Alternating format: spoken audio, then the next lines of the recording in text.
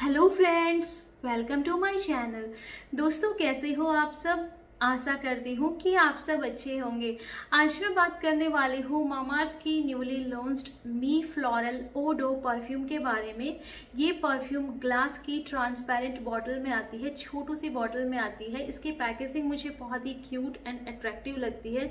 आप इसे easily travelling में कैरी कर सकते हैं। दोस्तों, मेरे पास इसका सैंपल साइज़ प्रोडक्ट है, जिसका प्राइस है वन फोर्टी जिसमें आपको एट एम प्रोडक्ट और थ्री ईयर्स की सेल्फ लाइफ मिलती है। है।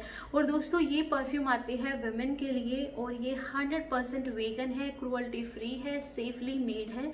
आपको इसे कैसे यूज़ करना है? सिंपली आपको इसे ओपन करना है और अपने पल्स पॉइंट से कुछ इंचेस की दूरी पर रखना है और आपको इसे स्प्रे कर लेना है।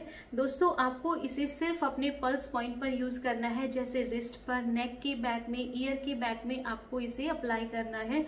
और इसकी फ्रेग्रेंस की बात करें तो दोस्तों जैसे ही आप इसको अप्लाई करते हैं तो इसमें से स्ट्रॉन्ग फ्रेग्रेंस आती है लेवेंडर की।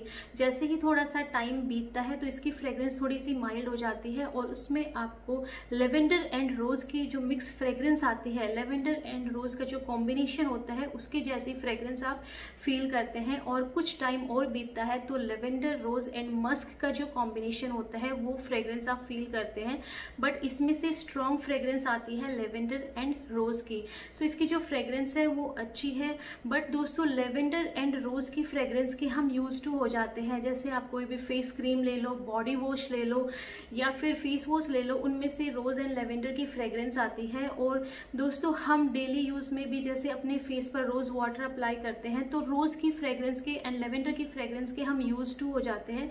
मैं बहुत ही यूज़ टू हो गई हूँ इनकी फ्रेग्रेंस की सो मुझे इसकी जो फ्रेग्रेंस है, इस परफ्यूम की कुछ ज़्यादा पसंद नहीं आई है। मैं ये नहीं कहूँगी कि इसकी फ्रेग्रेंस अच्छी नहीं है। फ्रेग्रेंस अच्छी है बट मुझे कुछ ज़्यादा अच्छी नहीं लगी है और लॉन्ग लास्टिंग है लंबे टाइम तक ये लास्ट करती है और फ्रेगरेंस इसकी अच्छी है बट मैं फिर से कहूँगी कि मैं इन दोनों ही फ्रेगरेंस की यूज़ टू हूँ तो मुझे बहुत ज़्यादा अच्छी नहीं लगी है इसकी फ्रेगरेंस बट आपको इसे एक बार ज़रूर ट्राई करना चाहिए। फ्रेगरेंस इसकी अच्छी है और अगर आपको रोज़ एंड लेवेंडर की फ्रेगरेंस पसंद है तो आपको इसे डेफिनेटली ट्राई करना चाहिए। सो so, अगर आप इसे ट्राई करना चाहते हैं इसको परचेज करना चाहते हैं तो इसका लिंक मैंने नीचे डिस्क्रिप्शन बॉक्स में प्रोवाइड कर दिया है, आप वहाँ से चेकआउट कर लेना। दोस्तों, आज के वीडियो में बस इतना ही। अगर आपको आज का वीडियो हेल्पफुल लगता है तो वीडियो को लाइक कमेंट और शेयर कर दीजिए।